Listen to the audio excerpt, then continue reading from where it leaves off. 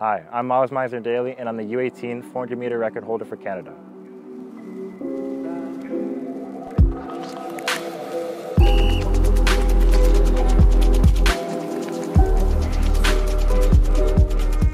My preparation physically before a race is definitely in warm-up, all about the warm-up. You know, you have to make sure all your muscles feel good. Uh, can't feel tight anywhere, so you don't want to pull anything during the race. So definitely take an hour, hour and a bit warm-up, make sure everything's all loose.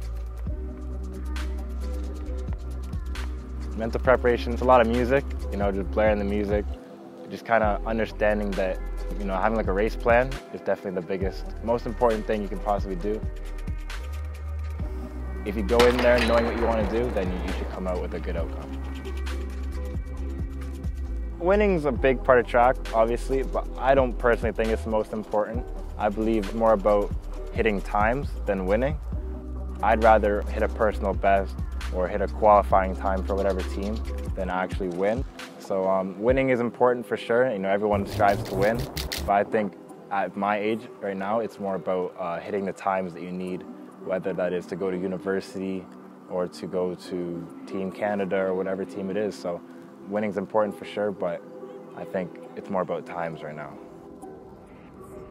Myles Misener, Daley in lane 5,